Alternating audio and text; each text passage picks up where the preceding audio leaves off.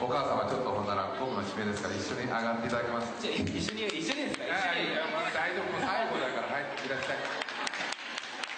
あのねお母さんも今日引退をね初めて知ったんだよな。そうなんです、はい。ギリギリまで。一番口が軽いんで。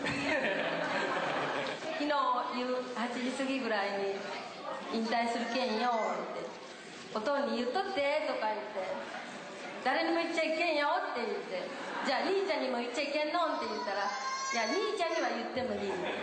であそう。でもその時いただいた時にああちょっと半分寂しいような嬉しいようないやこれで私は解放されたと思って万歳をしながら主人とちょっと寂しいかなって言ってたんです。いつも電話10回しても50回しても電話に全然出ない人なんですけど。30回に1回ぐらい出ますよ